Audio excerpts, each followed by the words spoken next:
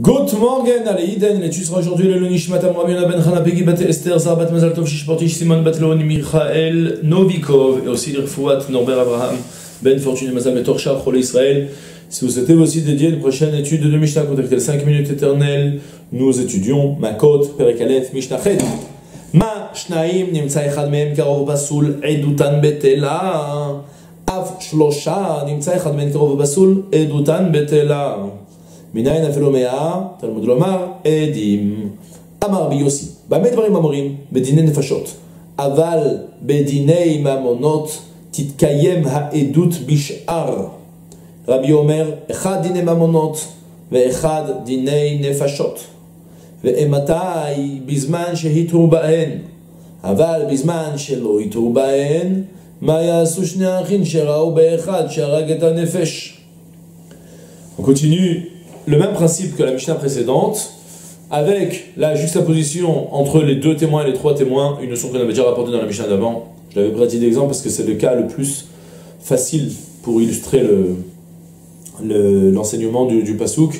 Soit il y a une juxtaposition entre deux et trois témoins pour nous apprendre. Ma shnaim, ça admet de tout le monde ça. Ma shnaim nimsa pasul, aussi bien que lorsqu'il y a deux témoins et qu'il s'avère qu'un des deux était un proche, parent, un karov, ou bien un pasoul, quelqu'un qui était euh, inapte à témoigner, comme ce qu'on apprenait dans Sanhedrin, c'était un joueur de, de, cartes au champ de course là-bas.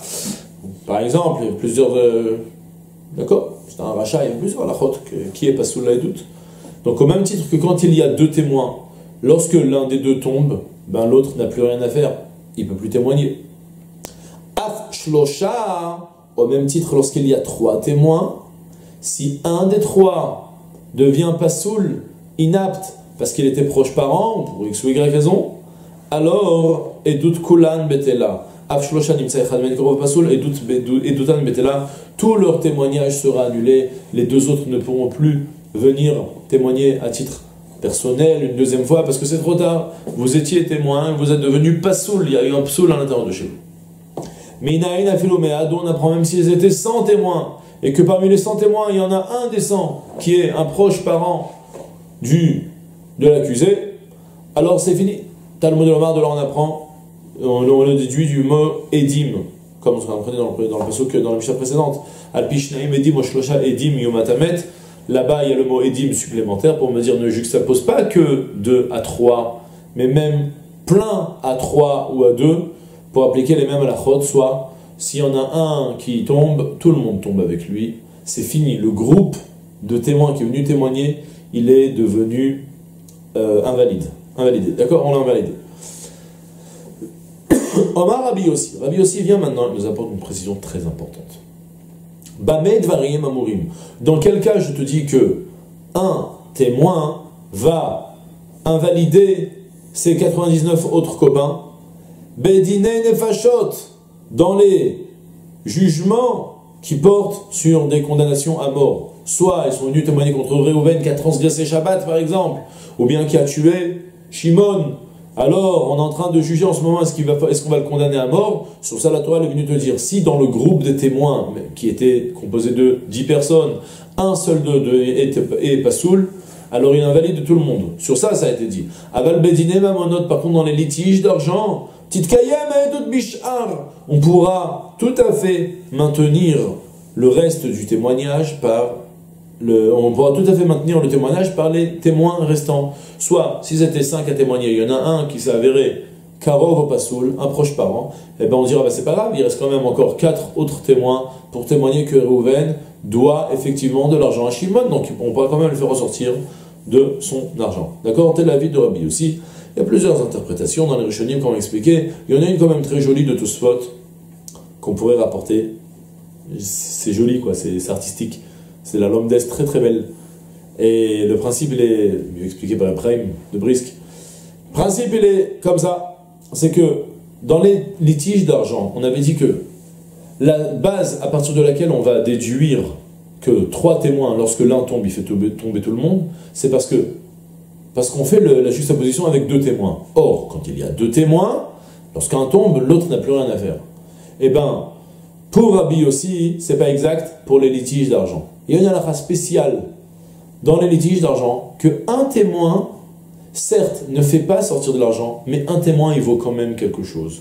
Étant donné qu'un témoin peut imposer de faire jurer. Une notion qu'on a déjà évoquée, qu'on aura amplement l'occasion de la, de la développer davantage dans la prochaine Maserhet, dans Maserhet Shvuot, Bezant Hashem, d'ici peu. Soit, moi je viens, je témoigne, Réhouven, tu dois de l'argent à Shimon parce que, parce que tu lui dois, tu l'as emprunté, tu l'as pas payé. Donc je suis un seul témoin. Je, je ne suis pas cru pour faire sortir de l'argent. Mais mon témoignage a quand même une certaine valeur dans la mesure où Réhouven devra désormais jurer pour me contrer.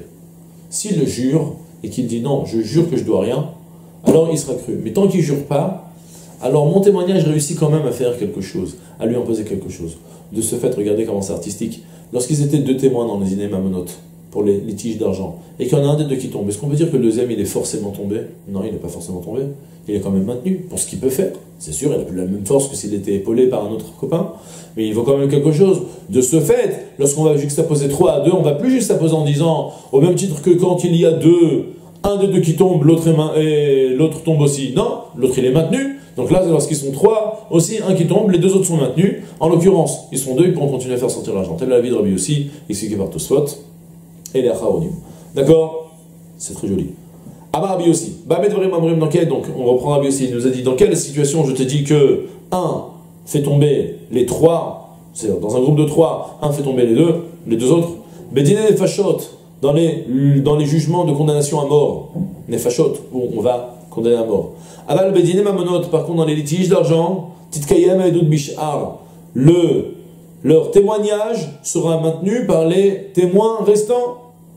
Donc, ils étaient dix, un qui est devenu Karov, qu'on a réalisé que c'était le proche parent, c'était le cousin de, du, de l'emprunteur.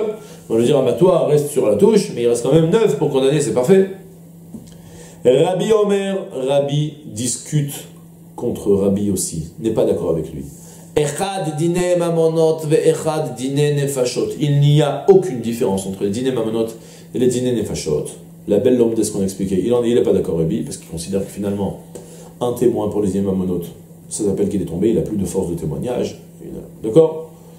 Et donc, il nous dit que ce soit les, les litiges d'argent ou les litiges de nefashot, toujours on aura cette règle que un fait tomber tout le monde. Mais attention, Adkama, au même titre que Rabbi, c'est-à-dire aussi bien que Rabbi, lui, apparemment, est venu nous dire qu'on pourra facilement faire tomber les témoignages pour les dîners mamonotes, mais malgré tout, il vient repêcher l'histoire avec une autre halakha. Matai, dans quel cas je te dis que un fait tomber les dix autres, dans les litiges de, de condamnation à mort par exemple, Bisman on parle uniquement si les témoins proches parents ont averti l'accusé au moment de faire l'action, ils l'ont averti mis en garde de ne pas faire. La on va revenir tout de suite. Le principe, je le dis. Non, d'abord on lit, on traduit, après je vous explique le principe, après on va expliquer dans les mots. Aval bisman par contre, s'ils n'ont pas, ne l'ont pas averti au moment de l'action, on va expliquer pourquoi. Maya Sushnarin, que pourront faire deux frères, qui ont vu malgré eux un assassin tuer quelqu'un. J'explique le principe, est d'abord très simple. Et Rébi nous dit que dans quelle situation je te dis que un fait tomber les autres Uniquement si ce témoin avait l'intention de témoigner depuis le moment où, depuis la scène. Et comment est-ce que je vais pouvoir assurer qu'il avait l'intention de témoigner depuis, depuis que la scène s'est produite? Parce que par exemple, il est parti et il l'a prévenu. Soit il y a des Rouven qui s'apprêtent à tuer Shimon, et il y a eu le cousin de Rouven qui est venu. Non, Rouven, ne le tue pas. C'est assourd par la Torah, sinon tu vas être condamné à mort. Ah, tu parles, tu viens de mettre en garde, tu as l'intention de venir témoigner. Puisque tu vas vouloir venir témoigner, depuis cet instant-là, tu es considéré comme témoin, et dans ce cas-là, tu rends invalide tous les autres. D'accord? Il y a de quoi préciser, on en parlera peut-être après. Mais en tout cas, on retient l'idée, d'accord? C'est important, d'après Rébi, que depuis que l'action se produit, depuis que la scène se produit, il faut que le proche parent ait l'intention d'être témoin pour rendre invalide les autres. Par contre, s'il n'avait pas, c'est ce que Rabbi nous dit ensuite, comment donc comment est-ce qu'on va être, on va pouvoir s'assurer qu'il avait l'intention de venir témoigner? Parce que par exemple, il est venu l'avertir. Mais par contre, s'il était au bistrot en train de boire une bière avec euh, son frère, ouais, deux frères qui étaient en train de boire une, qui étaient là-bas au café, en train de boire un café. Que pourront faire deux frères si deux frères ont vu malgré eux, quelqu'un qui a tué, Rouven qui a tué Shimon alors quoi, c'est fini, on ne pourra plus témoigner contre Rouven Non, puisque ces tas sont en train de boire un café qui sont une scène, ils ne sont pas pour autant devenus témoins jusqu'à qu'ils viennent témoigner. Jusqu'à que. Mais uniquement s'ils ont eu l'intention depuis, que l'action s'est produite, ils ont l'intention de leur témoigner, donc ils ont reversé. D'accord C'est ce qu'il vient nous dire euh. Je crois que c'est tout. J'avais un truc à vous dire, je l'ai oublié. C'est pas grave. On fait le partenariat, ça me reviendra sûrement après.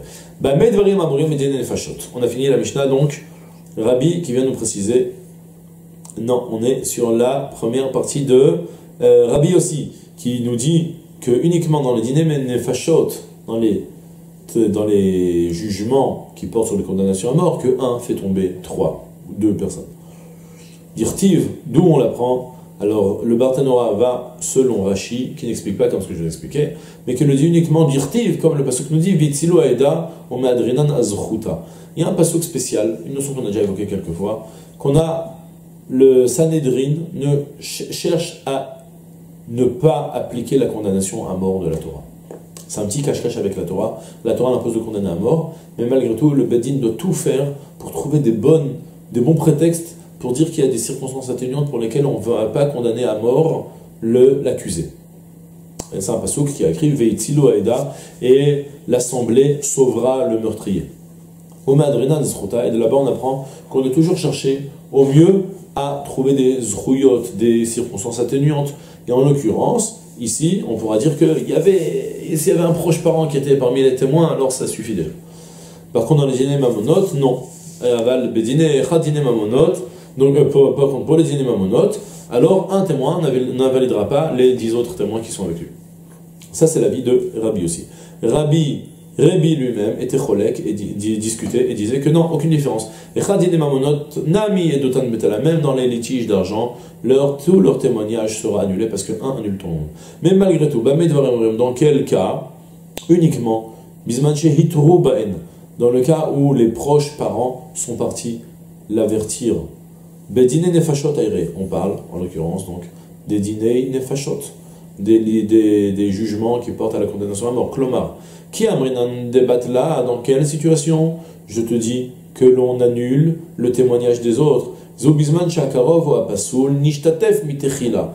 On parle uniquement du cas où, depuis le début, le proche parent a été activement s'est pour devenir un témoin. Liot minamatrin bovravera, par exemple, il s'est délégué pour partir faire la hatra'a. C'est quoi faire la hatra'a? C'est, on avait déjà une notion aussi qu'on avait évoquée quelques fois, que pour condamner quelqu'un à mort, il faut nécessairement qu'au moment où il va transgresser, qu'on le prévienne que c'est très grave ce qu'il est en train de faire et que s'il transgresse, il va se faire tuer. D'accord? C'est ce qu'on appelle la hatra'a, l'avertissement. Aval, imlo par contre, si le deux frères, si le proche parent n'a pas été matré, n'a pas averti au moment de l'action, velo qui badava, et qu'il n'a pas eu l'intention de devenir par cela témoin, alors edut ha'achirim le témoignage de ces, des autres personnes ne sera pas annulé à cause du simple fait qu'il ait vu l'action. Ve'alacha kerabi, et là, alacha est établi comme Rabbi, soit. Que pour les dîners nefashot, comme pour les dîners mamonot, un, fait tomber tout le monde, mais à condition que dans les dîners fachot, en tout cas, qu'il nous ait fait signe au moment que l'action s'est produite, que la scène s'est produite, qu'il avait l'intention de venir témoigner. D'accord? J'avais un point à vous, dire. Ah oui, c'est en rapport avec le Barthénora dans la Mishnah précédente. C'est délicat, il y a plusieurs avis. Je sais pas quoi. Je vais vous rapporter l'avis du Barthénora en tout cas. Selon le Barthénora, hein, non, selon le Rambam plutôt, il suffit. Non, selon le Barthénois, il faut non seulement que pendant que la scène se produit, qu'ils voient l'action, qu'ils aient l'intention de devenir témoins, mais qu'ensuite aussi quand ils arrivent au Bet Din, qu'ils témoignent en même temps aussi. Par contre, si au moment où ils vont arriver au Bet Din, ils ne seront plus en même temps, ouais, donc ils avaient peut-être ils avaient l'intention au moment de l'action d'être témoins, mais au moment de venir témoigner au Bedin, ils sont venus en deux groupes. Il y a eu d'abord un premier groupe de personnes étrangères qui sont venues témoigner contre Reuven qui a tué. Et puis après, il y a eu un deuxième groupe qui est venu, où il y avait là-bas le proche parent de Shimon. Alors, c'est discuté en réalité. Certains pensent que, puisqu'au moment de venir prononcer le témoignage au Beddin, ils ont formé deux groupes, alors le Pasoul, le proche parent, invalidera uniquement ceux qui ont du témoignage en même temps que lui, tandis que le premier groupe de témoins sera quand même maintenu. D'accord? Notion intéressante. Et c'est tout pour aujourd'hui. Je vous souhaite une journée pleine de Aslacha Kol Salam.